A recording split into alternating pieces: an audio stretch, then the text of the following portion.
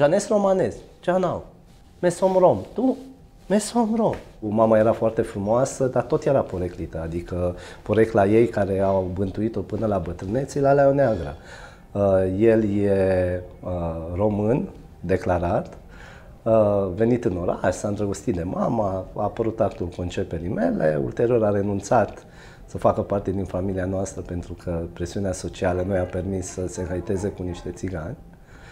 Și ulterior am rămas doar cu niște femei. Mamă, mătușă, bunică, mi se zicea Edu cu trei capre, aici și e o teorie a mea că partea de prejudecată și rasismul vine din familie.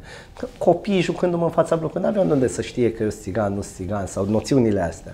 Și la un moment dat erau chestiile alea când nu, alegeam să care minjește sau care, nu știu, face parte din nu știu echipă de fotbal. Și era o parte cu ieși afară, dumneata, și tot eu ieșeam.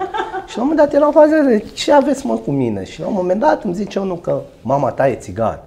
Mare parte din uh, rasism și xenofobie pleacă din o simplă chestiune pe care o numesc ignoranță, știi? Și sunt oameni care sunt, nu sunt neapărat răi. Am făcut la un moment dat o campanie foarte mișto uh, la noi la organizație, se numea uh, uh, suntem diferiți, dar avem același sânge, chiar diferiți același sânge se numea.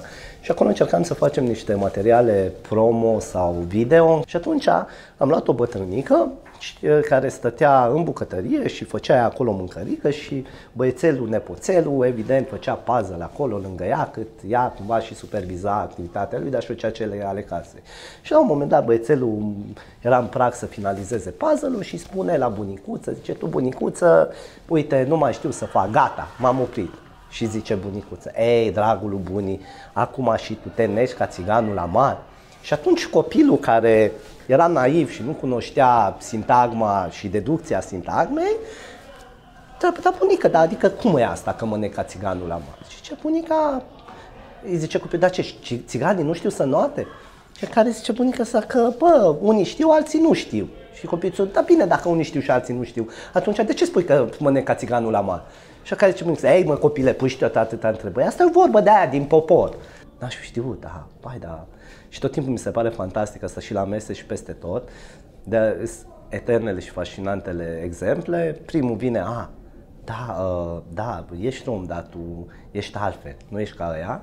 Sau e partea cealaltă cu romul că, a, băi, da, am zis o chestie, dar știi cum e, eu am avut în copilărie un rom prieten.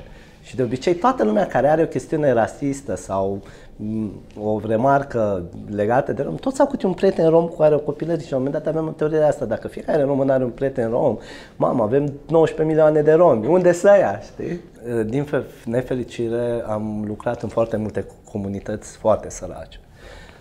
Și uh, sărăcia nu știe de etnicitate, sărăcia și boala nu știe de naționalitate. M-am gândit ce vreau să fac cu viața mea și în niciun caz nu vreau să lucrez într-o corporație sau nu mai știu ce, ce aș putea să fac eu pentru altcineva.